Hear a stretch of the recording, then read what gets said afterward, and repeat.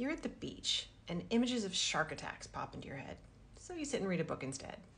You saw a plane crash on the news, so you decide to drive on your next trip.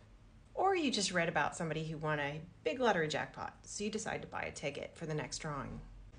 In all of these cases, you assumed something was likely because you could easily think of examples. But shark attacks are really rare. Flying is orders of magnitude safer than driving, and you stand a better chance of being struck by lightning than winning the lottery. These errors are due to the availability heuristic, a really powerful mental shortcut in which we estimate how likely something is based on how easily we can think of examples. The problem is we don't recall every event equally, but we're more likely to remember those that are vivid, recent, or really emotional. Essentially, our brains are fooling us, and as a result, we might make poor decisions. The point is, when trying to determine how likely or common something is, don't assume your memory is giving you an accurate picture of reality.